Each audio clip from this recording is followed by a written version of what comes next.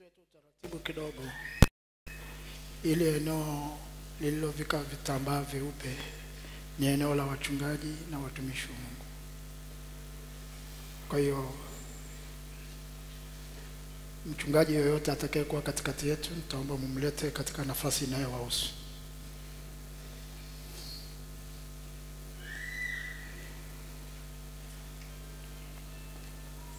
Haleluya! Bwana asifiwe. Bwana asifiwe.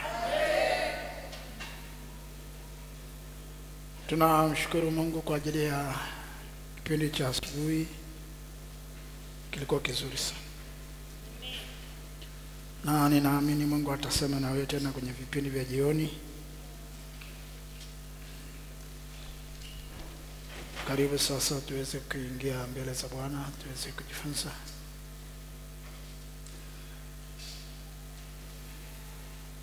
Jambo ambalo Mungu ameweka ndani ya moyo wangu tuweze kushirikiana katika hizi siku za kongamano ni juu ya majilio ya ufalme wa Mungu mahali na faida zake. Majilio ya ufalme wa Mungu mahali na faida zake. Majilio ya ufalme wa Mungu mahali na faida zake.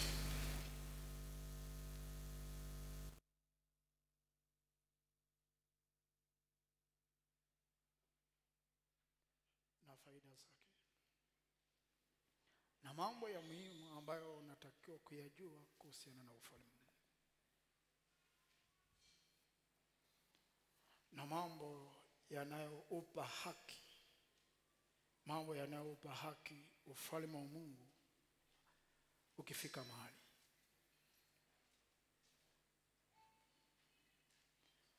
Nazungumza na wewe mambo hayo kwa hizi siku ambazo Mungu atatupa kuwa pamoja katika kongamano hili. Liko jambo ambalo Mungu amekusudia apitishe kwenye hili kongamano kwa ajili yako, lakini sio tu kwa ajili yako, kwa ajili ya mazingira yako. Bwana asifiwe. Na utakuja kuelewa kwa nini kanisa alistawi likiwa duniani. Kanisa alijapewa kustawi nje ya ufalme. Kanisa limepewa kustawi ndani ya ufalme. Kwa hiyo sio ustawi utangulia, ni ufalme utangulia Biblia inasema utafuteni ufalme wa Mungu na haki yake, mengine yote mtafanya nini? Tazidishiwa. Maana yake haya mengine hayawezi kuja mpaka ufalme umepatikana. Shida ni kwamba tunakimbizana na vitu, tunaacha ufalme. Protoko ya kiroho, hatutakiwi kustawi nje ya ufalme, tunatakiwa kustawi ndani ya ufalme, na kuna sababu. Bwana asifiwe. Bwana asifiwe. Ili kanisa liwe na udhihirisho kama kanisa na liwe na mamlaka yanayohitajika liwe nayo, kanisa haliwezi kuwa na mamlaka mpaka kwanza limekaa katika ufalme wa Mungu likiwa hapa duniani. Sikiza nikwambie, hakuna rais yoyote mwenye mamlaka ugenini. Kinachompa rais mamlaka sio nafasi ya kuwa rais, ni eneo analotawala. Kama ana eneo, hana mamlaka yoyote, hata kama bado anaitwa rais. Huwezi mleta Biden Arusha nani Tanzania akawa na sauti Tanzania, ana sauti Marekani. Ni rais wa taifa kubwa. Tanzania ni ndogo sana ukilinganisha na Marekani, lakini hana mamlaka yoyote Tanzania. Akija Tanzania na mipaka ya kuongea na mipaka ya kutenda, anapangiwa ratiba kwa sababu yuko ugenini. Lakini akiwa Marekani ndiye rais wa Marekani. Kinachompa uhalali sio jina la urais alilonalo, ni ufalme uliopo kwenye eneo ambao unahusiana na yeye. Kanisa lisipokuwa kwenye ufalme, kanisa linakuwa linakosa nguvu ya kuoperate kiutawala.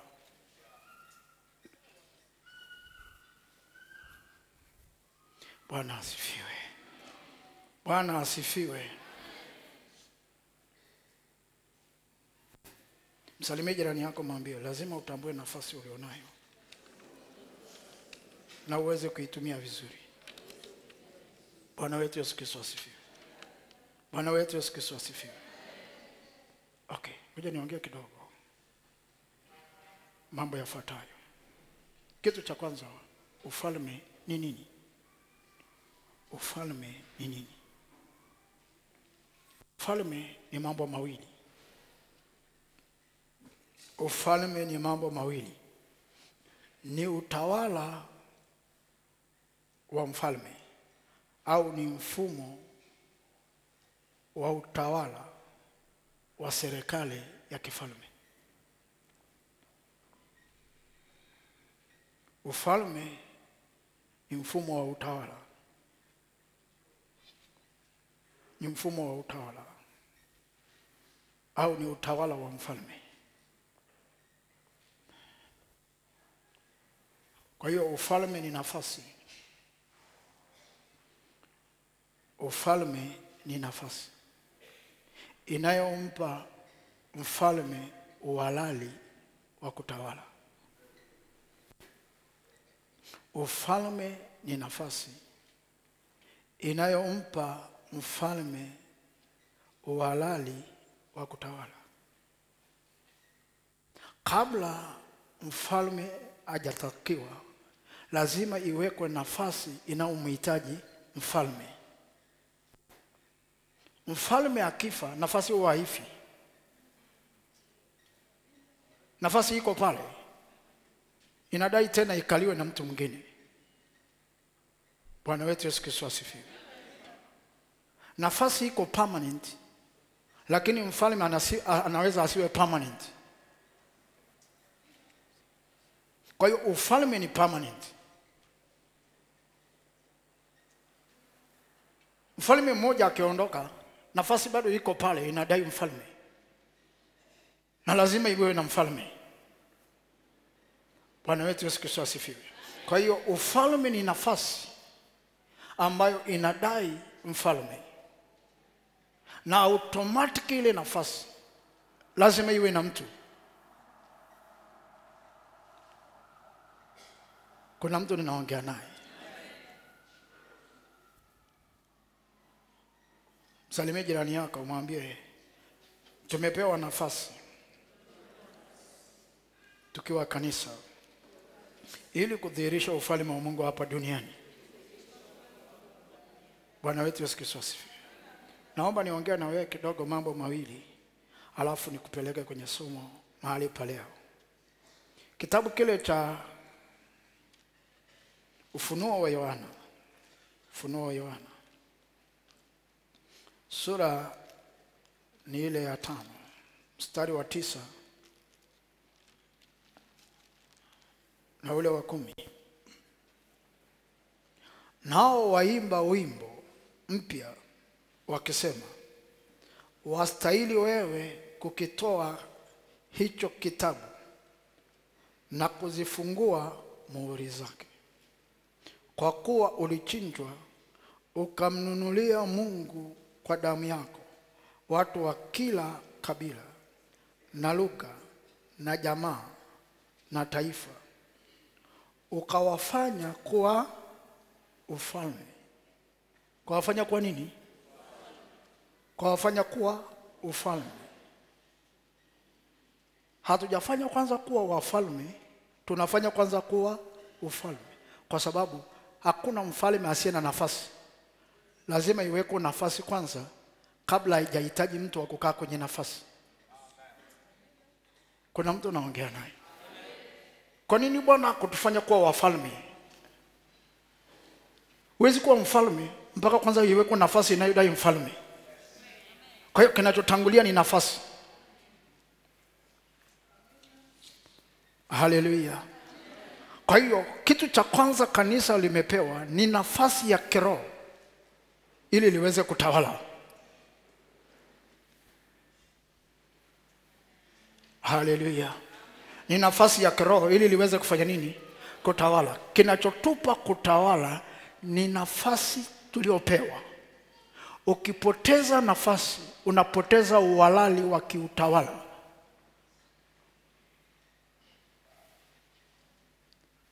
Kuna mtu nimeongea naye, kitu Adamu alipoteza.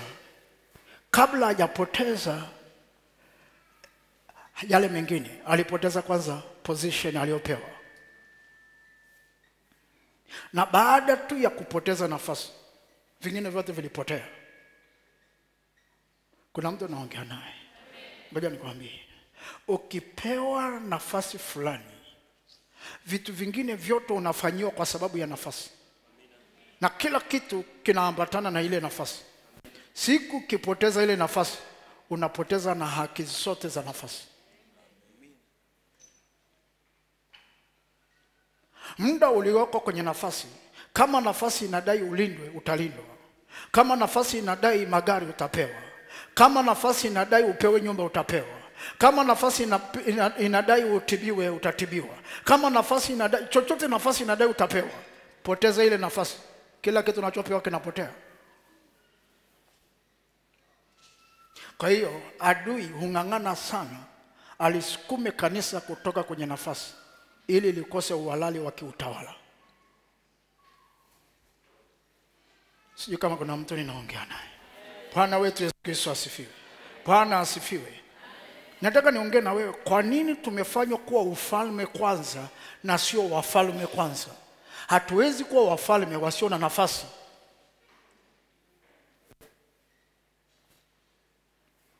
Haleluya. Okay, ukawafanya kuwa ufalme na nani? Na makwani.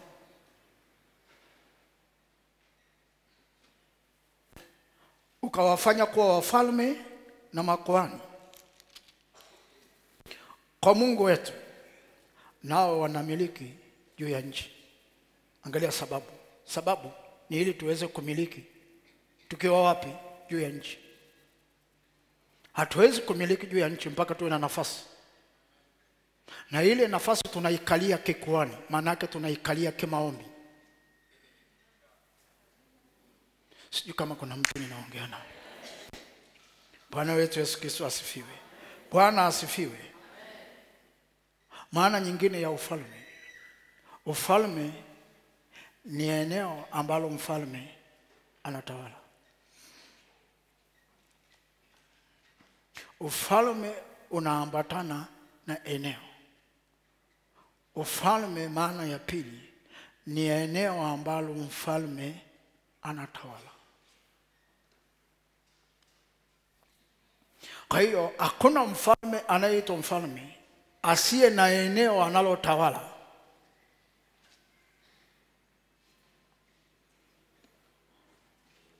Hivi vitu ni vya muhimu sana uweze kuvimaki.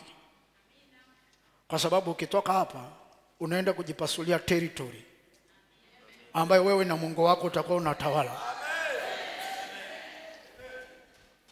Bwana asifiwe. Na kitu kingine, hakuna eneo lisilo na mipaka. Kwa hiyo ukisema ufalme wako uje, lazima uuelekeze uje wapi, kwa mipaka ipi. Kuna mtu naongea naye, kuna mtu naongea naye. Hajawahi tokea mfalme asiye na mipaka isipokuwa Yesu. Kila mfalme ana mipaka yake. Haleluya! Ukisema ufalme wa Mungu uje Arusha, usifikiri utaenda Dar es Salaam, utaishia Arusha. Ukisema uje Tanzania, usifikiri utaenda Kenya, utaishia Tanzania.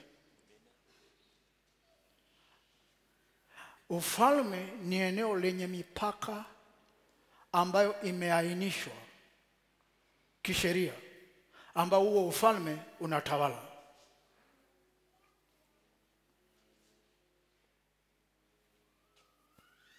Bwana asifiwe sana. Bwana wetu Yesu Kristo asifiwe. Okay, baada ya hapo, karibu sasa kitabu kile cha Mathayo. Naongea na wewe juu ya mambo yanayotoa haki ya ufalme wa Mungu kuja duniani. Kitu cha muhimu sana unachotakiwa kujua, ufalme wa Mungu unaweza ukawa ndani yako, lakini usiwe kwenye eneo lako. Haleluya! Ufalme wa Mungu unaweza ukawa wapi? Ndani yako. Kila aliyeokoka ana ufalme wa Mungu ndani yake, na nitakwambia sababu. Yesu ni mfalme, hawezi kukaa mahala ambapo hapana nafasi ya kifalme. Nimesemaje? Unapomkaribisha mfalme, kitu cha kwanza anachodai ni nafasi yake. Yesu anaweza akawa mfalme ndani yako, lakini asiwe mfalme kwenye eneo lako, kwa sababu ndani yako kuna ufalme tayari. Kila aliyookoka ndani yake kuna nini? Kuna ufalme. Yesu anasema kwenye kitabu cha Luka, kwenye kitabu cha Luka sura ya kumi na saba Yesu anasema hivi,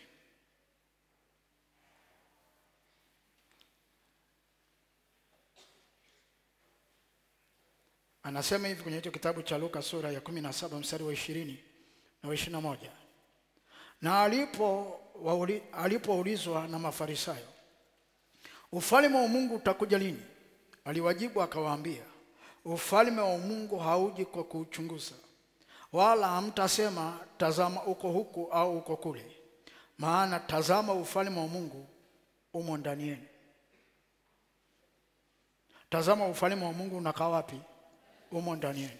Kwa hiyo kuna ufalme wa Mungu ulioko ndani ya mtu. Hajasema tazama mfalme, amesema ufalme. Na nimekuambia ufalme ni nini? Ni nafasi na ni eneo.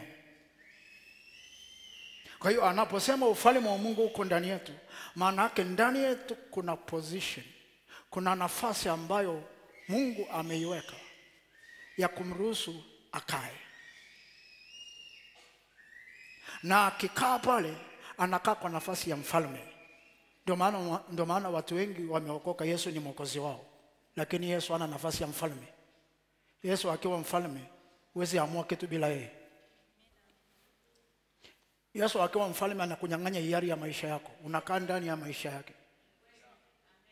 Ndio maana watu wengi, Yesu sio Bwana.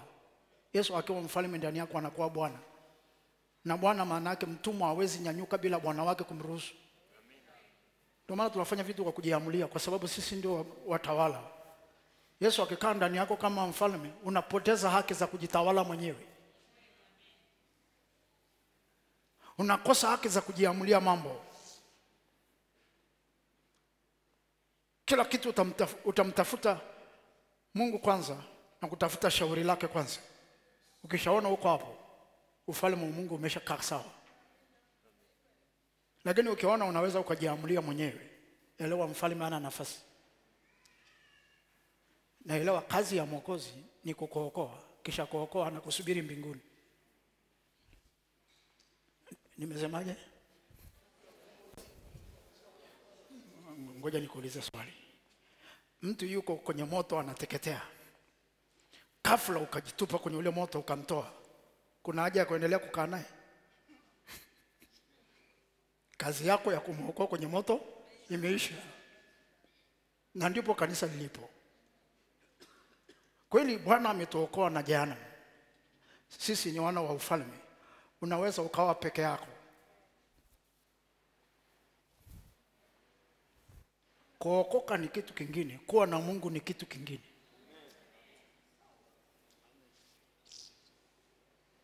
Mungu hawi na wewe kwa sababu umeokoka. Mungu anakuwa na wewe kwa sababu umemtafuta na ukampata.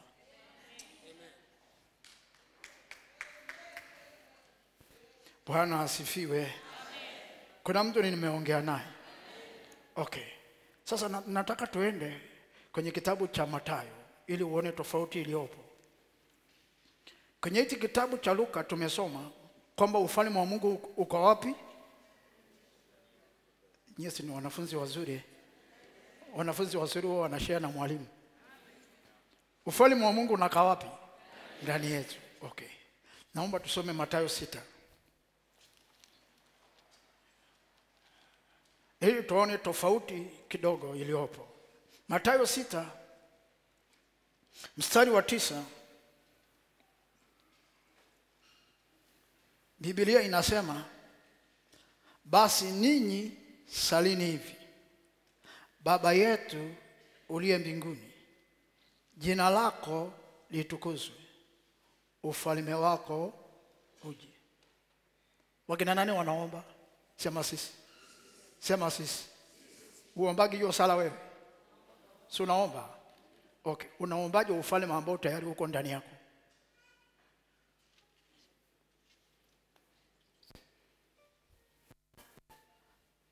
Naomba tuende hapo. Anasema katika kusali semeni hivi: Baba yetu uliye mbinguni, jina lako litukuzwe, ufalme wako uje. Hivi unaweza ukasema nije wakati niko hapo? ikimaanisha iko tofauti ya ufalme ulioko ndani yako na aina ya ufalme huu ambao Yesu ametufundisha ame, kuomba. Bwana wetu Yesu Kristo asifiwe. Bwana asifiwe. Hii inaonyesha kabisa kwamba ufalme wa Mungu unaweza ukawa ndani ya mtu, lakini usiwe kwenye eneo lingine linalomhusu huyo mtu, na kwamba huo ufalme hauwezi kwenda kwenye hilo eneo mpaka umealikwa.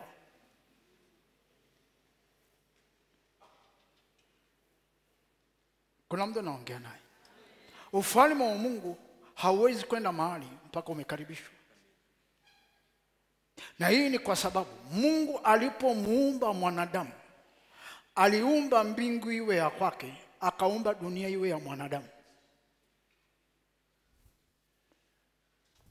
Fungua kitabu kile cha Hesabu cha Zaburi, Zaburi, Zaburi ya kumi na tano kumi na sita.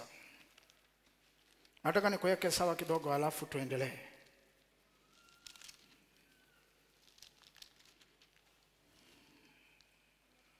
Zaburi mia, kumi na tano kumi na sita. Biblia inasema mbingu ni mbingu za Bwana, bali nchi amewapa wanadamu. Mbingu ni mbingu za nani? Nchi amempa nani? Mwanadamu.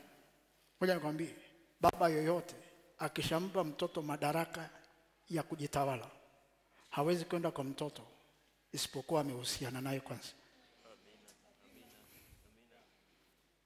Ni ngumu sana kuja kwa mtoto kukontrol nyumba yake ukiwa baba, kama ni baba unayejitambua.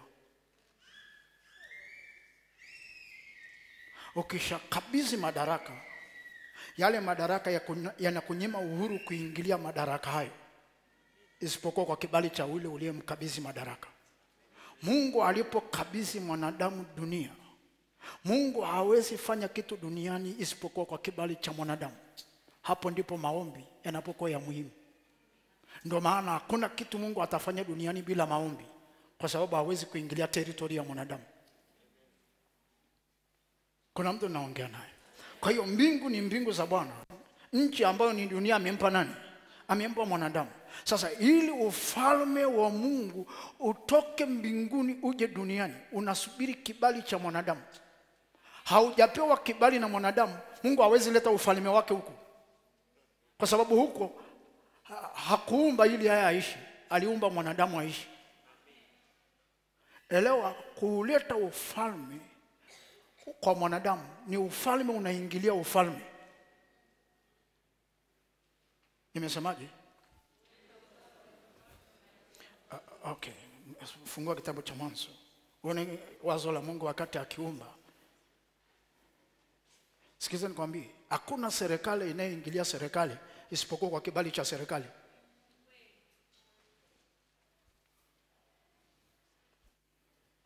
Kuna mtu anaongea naye.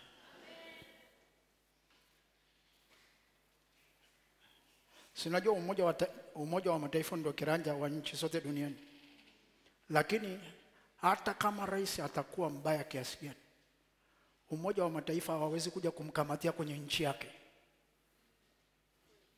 Watasubiri asafiri nje ya nchi yake ndo watamkamata, kwa sababu yuko kwenye teritori yake. Haleluya! Kuna mtu ninaongea naye. Okay, ngoja tusome kitabu hicho cha Mwanzo sura ya kwanza mstari wa ishirini na sita mpaka wa ishirini na nane. Mungu akasema, na tufanye mtu kwa mfano wetu, kwa sura yetu, wakatawale. Wakafanya nini? Okay, kwa hiyo unaona mwanadamu alipewa dunia awe mtawala. Kwa hiyo yeye ndiye mfalme wa dunia. Kwa hiyo Mungu kuleta ufalme wake ni kama anaingiza ufalme ndani ya ufalme mwingine, na uwezi ingiza ufalme ndani ya ufalme mpaka umepata kibali cha huo ufalme.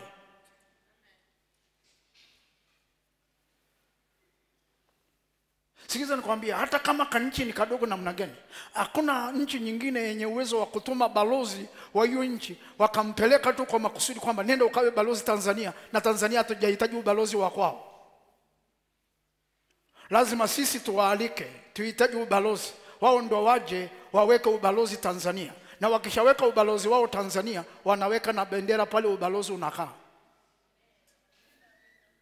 Ubalozi wa Marekani Tanzania haupeperushi ta bendera ya Tanzania na pem, pem, ina, ni bendera ya wapi? Ya Marekani. Kwa nini? Ile eneo ni la kwao, lakini liko ndani ya Tanzania. Naweza kuelewa kwa nini tunaitwa wajumbe. Sisi ni mabalozi. Kama hatuna territory tumeikata, hatuna mahali pa, kupe, pa, kupe, pa bendera ya ufalme kupepea itapepea ndani yako. Hivi kuna mtu anaongea naye? Bwana asifiwe, Bwana asifiwe. Eh, Ile bendera haibebei kwa sababu ya balozi. Balozi ni mtu, inabebea kwa sababu ya nafasi alionayo pale.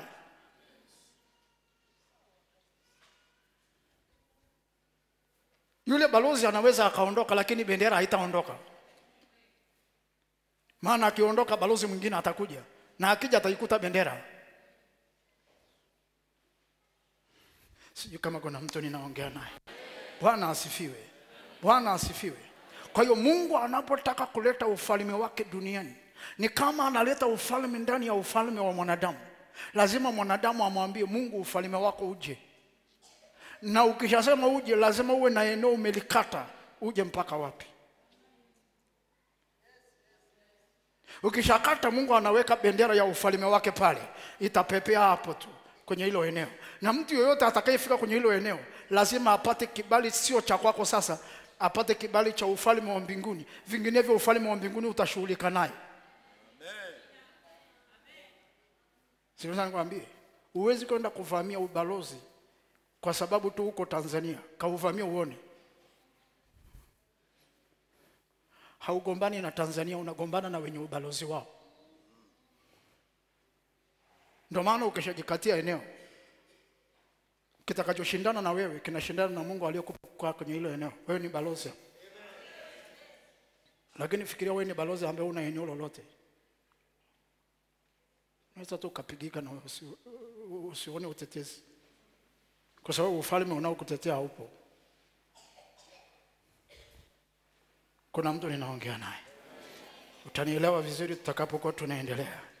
Msalimie jirani yako, mwambie utawala wa dunia alipewa mwanadamu.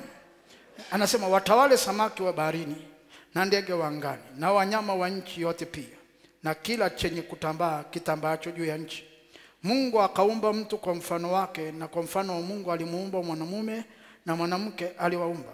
Mungu akawabarikia, Mungu akawaambia, zaeni mkaongezeke, mkaijaze nchi na kuitiisha, mkatawale samaki wa baharini na ndege wa angani na kila kiumbe chenye uhai kiendacho juu ya nchi. Bwana wetu Yesu Kristo asifiwe. Bwana asifiwe. Kwa hiyo kitu cha kwanza unachotakiwa kujua, ufalme wa Mungu hauko kila mahali, japokuwa Mungu yuko kila mahali. Nimesemaje? Mungu wetu yuko kila mahali. Anasema niende wapi nijifiche na uso wako? Maanake yuko kila mahali, lakini ufalme wake hauko kila mahali, vinginevyo tusingeualika wakati upo. Huwezi kusema kitu kije na kipo. Ukisema kije, maanake akipo na akiji mpaka kimeletwa. Haleluya! Sasa mambo ya msingi yanayotoa haki ya ufalme wa Mungu kuja mahali na kukaa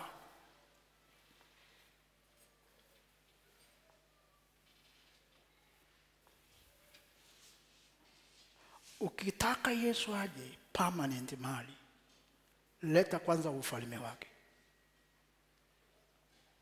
Mahali ambapo hakuna ufalme wake, Yesu atakaa kama mgeni. Atakaa kama nini? Ndani yako atakaa permanent, lakini kwenye hilo eneo hawezi kaa permanent. Utakapoendelea utaelewa.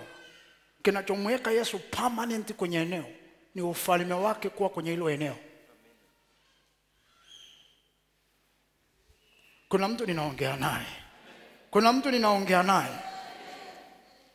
Na ufalme wa Mungu ukishakuwa huko, dunia inakuwa koloni la Mungu. Nafahamu koloni? Dunia inakuwa nini? Koloni la Mungu. Maanake hilo eneo ambalo Mungu anatawala liko chini yake, na hakuna cha shetani kinachoweza kuamua pale. Hata kama miungu mingine iko huko, anaweza asiiondoe, lakini haiwezi kufurukuta. Kuna mtu ninaongea naye. Bwana wetu Yesu Kristo asifiwe. Kuna wakati Mungu anakuwa mfalme wa miungu yote. Nitakuonyesha kwenye Biblia tutakapokuwa tunaendelea. Akiwa mfalme wa miungu yote, haondoi miungu ila anaitawala.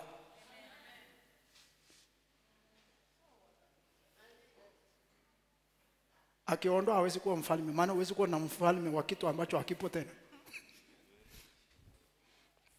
Kuna mtu anaongea naye. Ukisikia mfalme, maana yake kuna anacho tawala. Akishakiondoa kila anachokitawala, hawezi kuwa na nafasi ya mfalme, maana hana kitu anatawala. Kwa hiyo ili Mungu awe mfalme wa miungu, lazima miungu iwepo, lakini ikae chini yake. Unaweza ukaelewa sasa. Eliya alipomwita Mungu aje, Mungu alikuja kama mfalme. Angalia kama ile miungu ya Baali ilinyanyuka, sio kwamba haikuwepo. Haleluya! Unaweza ukapigana vita vya miungu vikakuchosha. Leta Mungu kama mfalme. Akishakuja kama mfalme, miungu yote inanyamaza, miungu yote inanyamaza. Watu wengi hawajui, Biblia inasema Mungu akahukumu miungu ya Misri. Hakuihukumu kuiua, aliihukumu kuitiisha. Alipoondoka bado waliendelea kuiabudu, lakini aliwaambia muda niko hapa, amfanyi kazi yoyote.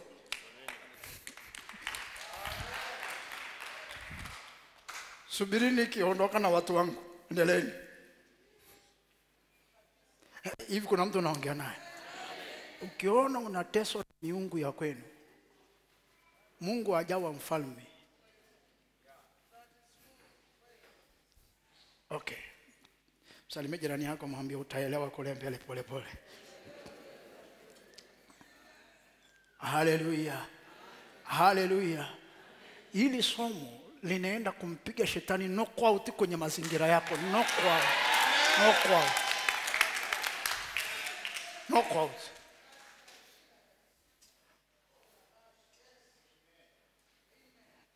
Ni ngumu sana Mungu aende mahali kama mfalme alafu miungu itambe, hawezi. Wafilisti hawakujua kwamba walipokuwa wakileta sanduku la agano walikuwa wanamleta Mungu wa miungu, alafu wakataka wamweke na Mungu naye akae hapo. Ah ah, ilibidi awatambulishe kwamba mimi ndio Mungu mkuku Akamweka yule Mungu wao chini. Unajua, ngoja nikwambie, hakuwa na haja ya kumvunja shingo. Kama wewe ni msomaji wa Biblia, yule Mungu akuvunjika shingo mara ya kwanza, mara ya kwanza alisujudu, alianguka kifudifudi. Maana yake alimtiisha, akamwambia nimeshakaa hapa, hakuna Mungu mwingine juu yangu, lala kifudifudi. Wakamkuta amelala kifudifudi. Kosa walilofanya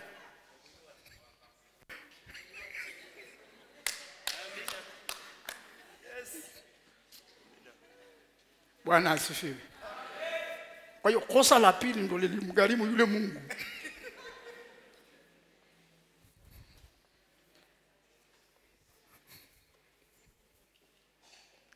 Walipokuja wakamsimamisha,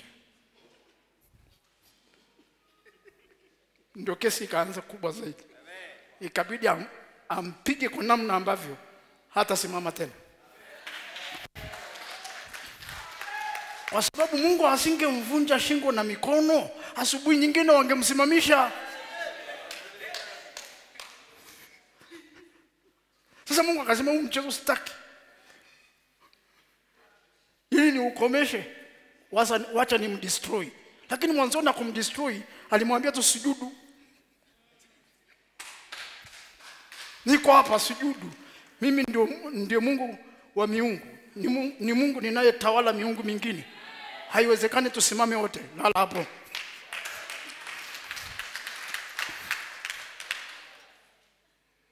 Bwana asifiwe.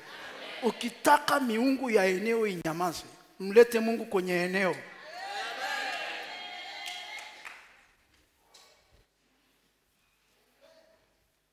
Haleluya. Na umbali ule ambao umempeleka Mungu na ufalme wake ndio eneo Mungu atashughulika na kilichoko ndani ya hilo eneo.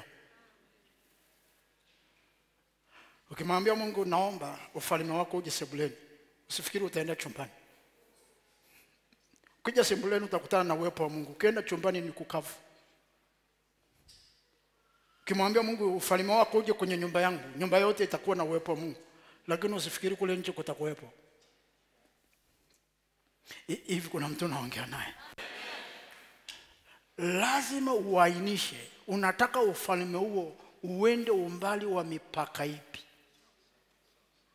Usipoainisha mipaka, huwezi kuualika ufalme.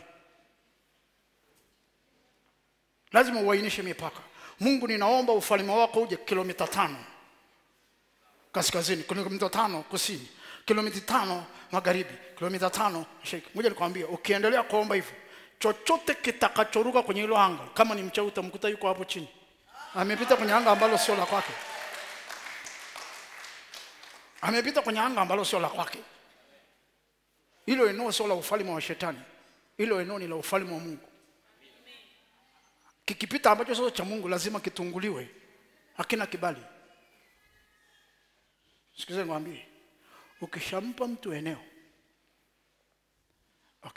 saa hii tu, tumweke mwekezaji, tumwambie ile eneo lote tumekupa la kilomita tatu, wewe ndio utakayekuwa unatawala. Hivi yule mwekezaji unaweza tu ukaenda ukachungia ng'ombe. Ukichungia ng'ombe, ni serikali itakufata au ni mwekezaji? Mwekezaji na anaweza akazipiga risasi kwa sababu ile eneo ni la kwake kwa muda huo ambao ameingia mkataba ni la kwake. Na chochote kitakachopita pale atashughulika nacho. Ukishampa mungu eneo hilo eneo ni la kwake. Chochote kitakachopita hapo wewe ushughulikii hata kama umelala usiku mwenye eneo ambaye ni mungu anashughulika na kilichoko kwenye hilo eneo. Atakipiga chochote kilichoko kwenye hilo eneo. Msalimie jirani yako mwambie jifunze kumkaribisha mungu na ufalme wake mwambie utapunguza vita kubwa sana inayokuzunguka. Utapunguza vita kubwa sana inayokuzunguka. Bwana wetu yesu kristo asifiwe. Haleluya. Kuna mtu nimeongea naye. Okay mambo yanayotoa haki ya ufalme wa mungu kuja mahali na kuwa permanent. Na kuwa permanent. Ili uwe permanent kuna mambo ya msingi yako mambo kama matano. Kama muda wangu utaruhusu nitaongea yote matano. Kama utaruhusu nitaongea machache na mengine tutaendelea kujifunza kwa siku zilizoko mbele. Jambo la kwanza ili ufalme wa mungu uingie mahali lazima pawe na mlango. Lazima pawe na mlango. Ulimwengu wa roho hauwezi kuingia mahali mpaka pawe na mlango wa kuingilia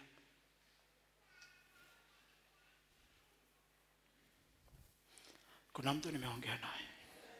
Sema ufalme hauwezi kuingia mahali mpaka pawe na mlango.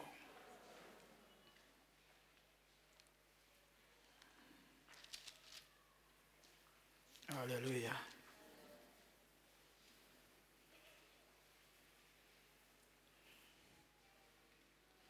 ili mfalme aingie mahali anahitaji mlango na hakuna ufalme unaokuja usipoletwa na mfalme. Ukishasikia ufalme elewa nyuma ya ufalme kuna nani? Kuna mfalme. Na hoja nikwambie kabla mfalme hajaingia huwa anataka ufalme wake kwanza uwepo. Huwezi mleta yesu kama mfalme mpaka kwanza umeuleta ufalme. Yesu anaweza akaja kama mwokozi. Anaweza akaja kama kuhani. Anaweza akaja kama mponyaji. Anaweza akaja kama mkombozi lakini kuwa kama mfalme lazima ufalme wake kwanza. Bwana asifiwe. Bwana asifiwe. Bwana asifiwe. Na ndio maana kwenye kitabu cha matayo anasema katika kuhubiri kwenu hubirini mkisemaje? Hajasema mfalme amekaribia. Amesema ufalme umekaribia. Maanake lazima kwanza tuhubiri ufalme uwepo ndipo mfalme awepo. Huwezi mkaribisha mfalme mpaka kwanza umeukaribisha ufalme kinachomvuta mfalme kuja ni kuuona ufalme wake. Bwana asifiwe. Hivi kinachotangulia ni kumtafuta rais au ni serikali kutangulia? Unaweza ukatafuta rais ambaye hakuna serikali?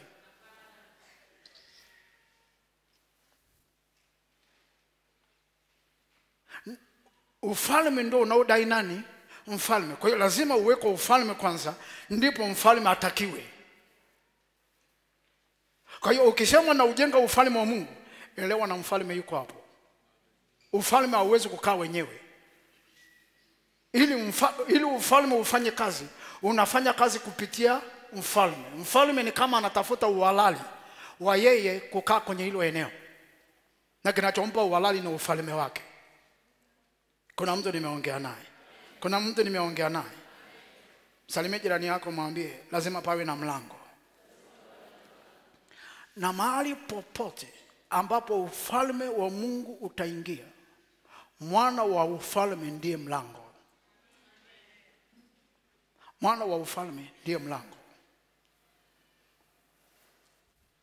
Mwanadamu ni lango la kiroho la kupitisha ufalme wa kiroho kuja duniani. Nimesemaje?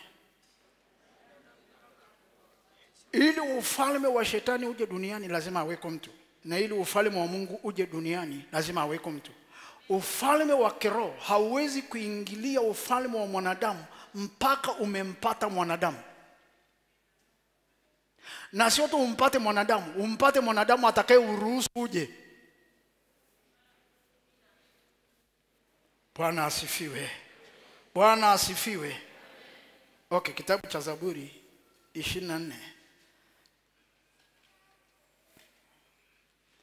ni kitu cha kwanza, lazima uwepo mlango.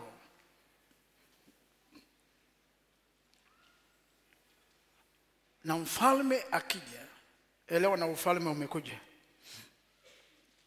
Ili mfalme aingie ndani yako, alihitaji kufungua mlango wako, na ili aende kwenye eneo, atahitaji pia utumike kama mlango wa kumpeleka kwenye eneo. Bwana asifiwe. Bwana asifiwe. Kitabu hicho cha Zaburi ya 24 mstari wa sita na wanane anasema hiki ndicho kizazi cha wamtafutao wakutafutao uso wako, e Mungu wa Yakobo. Nataka uone kile kizazi kinaitwaje. Hiki ndicho kizazi cha wakutafutao wakutafutao uso wako, e Mungu wa Yakobo. Inueni vichwa vyenu enyi malango. Wale wamtafutao kwa lugha nyingine wanaitwaje? Malango. Kwa nini wamtafutao ni malango? Maanake ndio wanaompa nafasi ya kuingia mahali. Kuna mtu nimeongea naye, kuna mtu nimeongea naye, anasema hiki ndicho kizazi cha wamtafutao. Halafu mstari unaofuata anasema inueni vinywa vyenu enyi malango. Wakina nani wao? Ninyi ninyi mumtafutao, inueni vichwa vyenu enyi malango. Maanake wale wanaomtafuta Mungu aoni watu, Mungu anaona malango, anaona maingilio yanayomruhusu wewe kuingia mahali. Bwana asifiwe sana. Mungu hawezi kwenda popote hapa duniani mpaka aweko mtu amemtafuta, na yule anayemtafuta Mungu kumpeleka hapo, yule mtu anakuwa lango la Mungu la kumpeleka Mungu hapo. Kuna mtu ninaongea naye, kuna mtu ninaongea naye. Okay, ngoja turudi hapo. Inueni vichwa vyenu enyi malango, inukeni enyi malango ya milele mfalme wa utukufu apate kuingia. Unaona, ana mahali anataka kuingia, lakini hawezi kuingia mpaka malango yamemruhusu.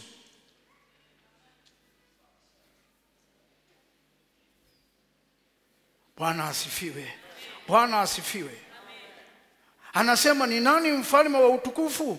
Bwana mwenye nguvu, hodari, Bwana hodari wa vita.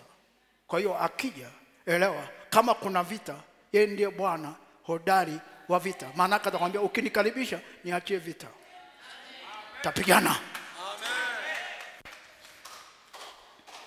Ndio maana nimekwambia ukitaka saa nyingine vita ipungue kwako, acha kupigana vita usiku mchana, ni vita ni hiyo hiyo. Karibisha ufalme.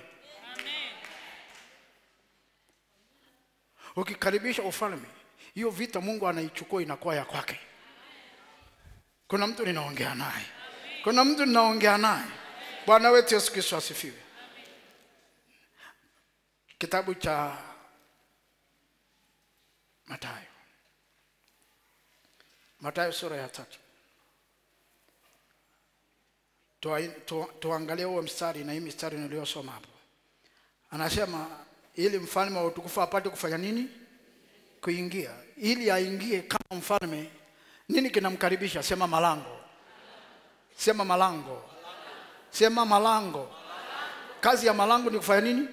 Ni kumruhusu ili apate kuingia. Kuingia kwa nafasi ipi? Kama mfalme, ili mfalme wa utukufu aingie. Elewa, akija kama mfalme wa utukufu, maana yake anakuja kutawala. Hakuna mfalme anayekuja kuzurura. Mfalme akija ni mtu anayetaka territory. Lakini nataka nikuonyeshe nani anampa kibali cha kuingia. Hatafuti watu wa kawaida, anatafuta watu ambao ni malango.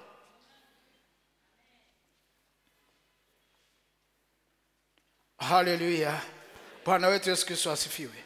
Kitabu cha Mathayo ile sura ya tatu mstari wa kwanza na wa pili na sura ya nne mstari wa kumi na saba Biblia inasema Siku zile aliondoka Yohana Mbatizaji akihubiri katika nyika ya Uyahudi na kusema, tubuni, kwa maana ufalme wa mbinguni umekaribia. Nachotaka uone ni hilo neno, ufalme wa Mungu umefanya nini? Umekaribia. Umekaribia wapi? Sema huko malangoni, sema huko malangoni. Sasa ili uweze kuingia, anayeruhusu ufalme kuingia ni yule ambaye ufalme unapita kwake. Ukisema tu ufalme wako uje, huu hapa, lakini ukinyamaza utabaki mlangoni. Umekaribia, lakini hauwezi kuingia. Najua kitu kilicho karibu, maana kiko getini, lakini kama geti halitafunguliwa hakiwezi kuingia ndani, kitabaki getini. Kanisa lisipokaa kwenye position ya kuruhusu ufalme wa Mungu kuja duniani, ufalme wa Mungu hauwezi kuingilia mazingira ya dunia, isipokuwa kanisa limeruhusu ufalme wa Mungu kuonekana duniani. Bwana wetu Yesu Kristo asifiwe. Na saa Mungu anapoliona kanisa, analiona kanisa kama lango. Kanisa la Bwana ni lango la kupitisha ufalme. Watakatifu ndio malango ya kupitisha ufalme. Anasema mimi Bwana wa utukufu nataka kuingia, ufalme wangu umekaribia, nimekuja na ufalme. Sikiza nikwambie, nikikwambia nimekuja na gari, nikikwambia gari langu limekaribia, elewa ndani ya gari na mimi niko. Na iwezekani gari likaribie, mwenye gari asikaribie.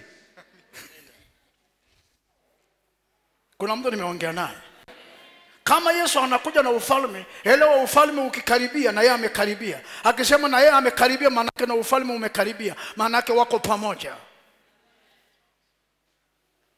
Lakini naongea habari za Bwana kuja kama mfalme, ili aingie mahali lazima liweko lango la kumruhusu. Msalimie mwenzako, mwambie simama kama lango, mwambie ruhusu ufalme wa Mungu uonekane mahali ulipo. Haleluya, Bwana wetu Yesu Kristo asifiwe. Na unajua ukisimama alafu ufalme wa Mungu ukaonekana, kazi zingine zote zinanyamaza hapo. Naelewa baada ya muda wataanza kutafuta ni nani huyo anatusababisha vitu vyetu haviendi. Amen. Ukiona kafla vita vimekuinukia kazini, elewa ni Danieli amesumbua.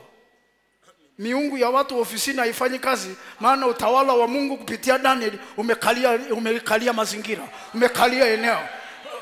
Wakatafuta, mbona sisi ah, vile vya kwetu havisogei? Wakatambua kuna Danieli, jamaa anaomba mara tatu hapa kila siku akiualika ufalme wa Mungu, ufalme wa Mungu, ufalme wa Mungu. Kwa hiyo kila mahali ufalme wa Mungu ndio unatawala. Miungu yetu ni kama haina kazi. Akasema tumkomeshe huyu jamaa, tusipomkomesha huyu hatuna namna, tunaweza tukatawala hapa. Jamaa ameshatawala kila kitu. Bwana wetu Yesu Kristo asifiwe. Na unajua mwenye nikwambia, huwezi tawala kiroho usitawale kimwili. Baada ya Danieli kutawala kiroho, kimwili vyeo vilikuwa vinapanda tu, anapanda tu vyeo, anapanda tu, anapanda tu, anapanda tu, akajikuta amening'inia kule juu, yeye ndiye wa pili baada ya mfalme. Wewe watu wengi sana wakai kwenye viti bila kitu, wewe wanakaa kwenye vitu na kitu, na kitu. Wewe unakata hapo ndo, hujamweka Mungu kwenye nafasi, watakukunja kunja. Utashangaa cheo akipandi, utashangaa mshahara haupandi, utashangaa trip za kusafiri, wewe usafiri umewekwa chini. Anasema, bosi, najua nionaje? Akuoni, wamekufunika. Wanaojua kutumia miungu wamesha kufunika wewe, umemficha Mungu wako, anakaaga moyoni kwako tu. Mungu aliyoko moyoni ni kwa ajili ya kukupeleka mbinguni.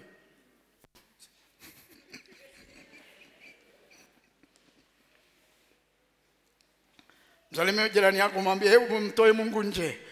Msalimie, mwambie mtoe Mungu nje. Mtoa Mungu nje, ataonekana huko nje.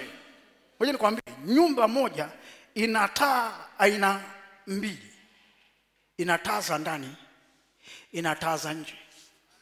Taa za ndani kazi yake ni kumulikia wewe ulioko ndani, lakini kwa kweli, ili wa nje wajue kwamba ile nyumba ina taa, funga taa za nje. kuna watu huku ndani wako vizuri sana, taa za nje haziwaki. Kwa hiyo hakuna watu, hakuna kitu watu wanajua kuhusu yeye.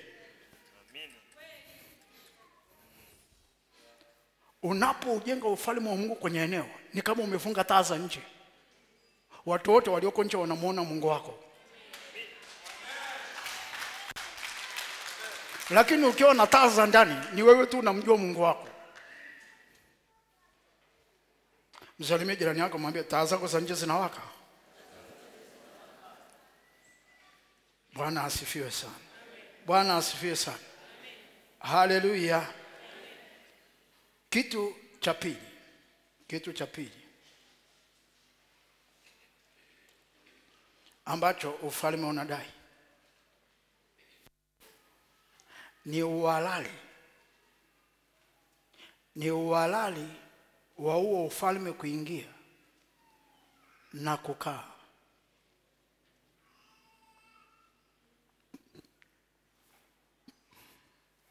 Kitu cha kwanza ni lango. Ndio maana Biblia inasema sisi ndio tunasema ufalme wako uje. Nani anasema ufalme uje? Ni sisi. Unaposema ufalme uje, maana yake wewe ni lango la huo ufalme kuja mahali. Yule anayeukaribisha ni lango, yule anayeuleta ni lango. Lakini unapotaka kuuleta, lazima utengeneze mazingira ya uhalali wa huo ufalme kuingia na kukaa. Vinginevyo unaweza ukataka, lakini kama hauna uhalali hauwezi kuingia. Wewe nikwambie, mambo ya kiroho yanaendeshwa kikanuni. Kanuni isipozingatiwa, kitu cha kiroho hakitembei. Na ndio maana ukikosea kanuni, kiroho unakwama.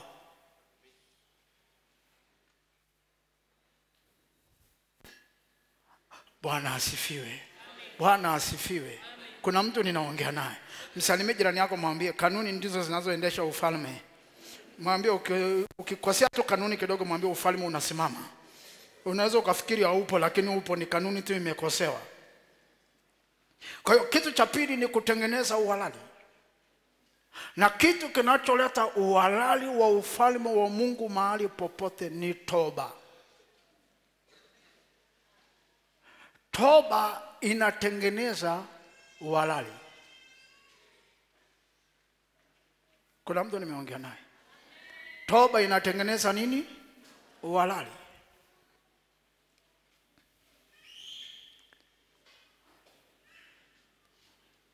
Turudi kwenye kile kwenye hicho kitabu cha Mathayo sura ya tatu mstari wa kwanza na wa pili na ile sura ya nne mstari wa kumi na saba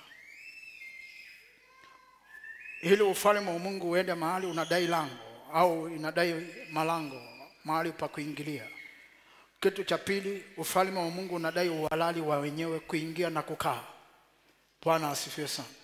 Bwana asifiwe.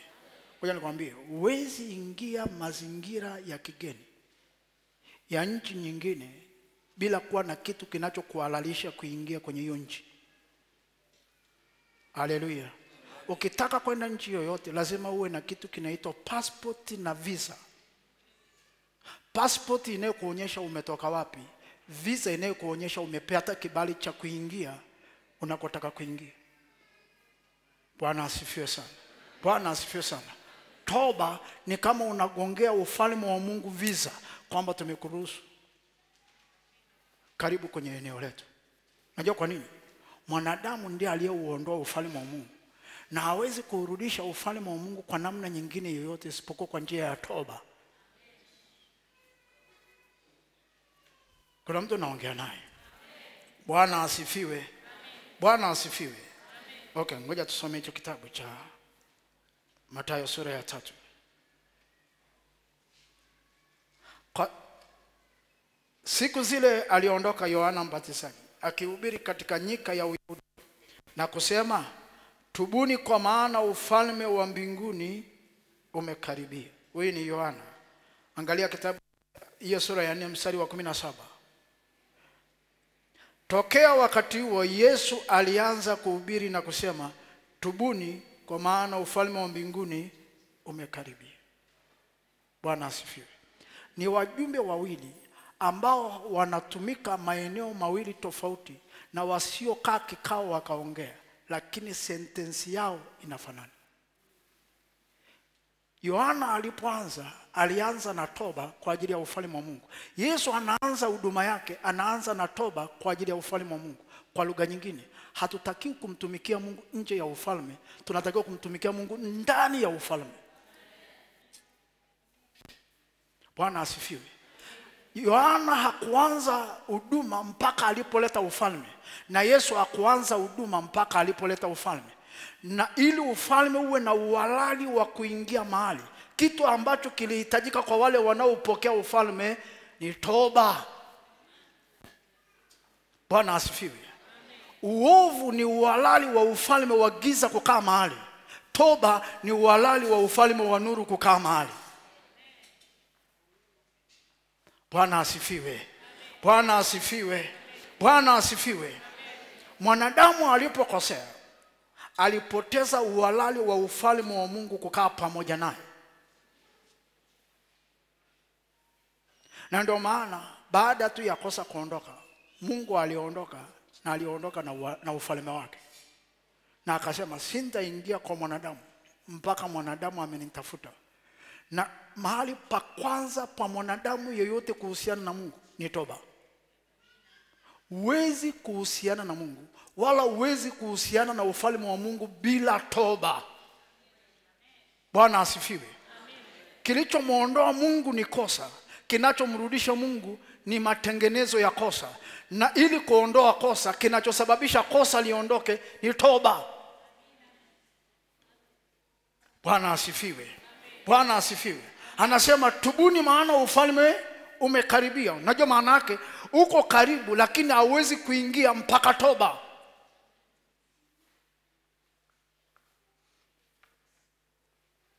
Ndio maana nimekwambia yule anayeualika ufalme ni lango, lakini lazima ajue namna ya kuuingiza ufalme. Huyu anayeingiza ufalme kama lango, ili ufalme uweze kuingia kialali lazima aanze na toba. Ukitaka ufalme wa Mungu uwe Arusha, lazima utubu kwa ajili ya Arusha. Ukitaka ufalme wa Mungu uwe kwenye familia, lazima utubu kwa ajili ya familia. Ukitaka ufalme wa Mungu uwe kazini, lazima utubu kwa ajili ya eneo la kazini. Pale unapouelekeza ufalme, lazima kwanza uelekeza hapo toba. Huwezi kusema Mungu, ufalme wako uje, maana na uhitaji. Anasema lakini sina uhalali wa kuingia, milango imefungwa bado. Kinachofungua mlango ni toba. Haleluya! Zambi ilifunga mlango, toba inafungua mlango. Zambi ikitendeka inafunga mlango. Unapotubu ni kama unafungua ule mlango tena. Hakuna mlango uliofungwa na dhambi utakaofunguka bila toba. Na ndio maana ili uweze kwenda mbinguni ulitakiwa kutubu na kuokoka, au uliokoka bila kutubu? Biblia inasema kuna toba liletalo nini? Wokovu. Ndivyo Wakorinto wa pili sura ya saba mstari wa kumi inavyosema kwamba wokovu unaletwa kwa njia ya toba. Ile sala ya toba ulipo ulipotubu ni kama ulifungua nini? Mlango. Sema toba inafungua mlango. Okay, kitabu kile cha cha Ufunuo wa Yohana sura ya tatu. Huwezi kumwingiza Mungu mahali na kumhusianisha Mungu na kitu chochote bila toba.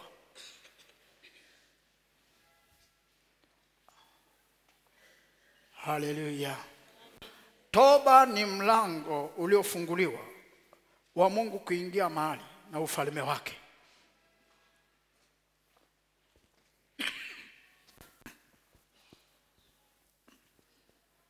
Funuo wa Yohana sura ya tatu mstari wa 19 na wa ishirini.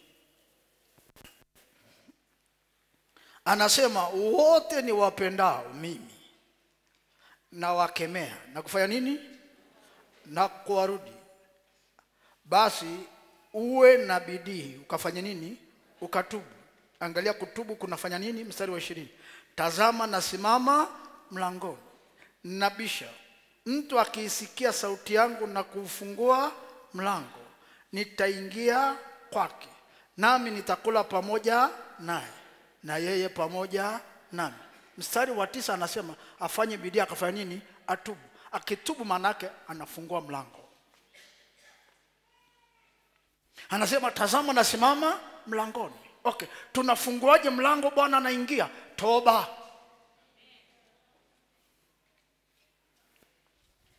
Kutubu ni kuufungulia ufalme au ni kumfungulia Bwana, ni kumfungulia Mungu mlango ili aweze kukaa mahali, ili aweze kuhusiana na mahali. Toba ni mahali pa muhimu sana tunapotaka kuuleta ufalme wa Mungu mahali.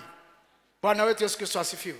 Yohana alisema tubuni, maana ufalme wa Mungu umekaribia, na Yohana anasema tubuni, maana ufalme wa Mungu umekaribia. U, unaweza usiingie kama toba haitafanyika. Haleluya! Kitabu kile cha Isaya, Isaya sura ya arobaini. Haleluya! Isaya sura ya arobaini.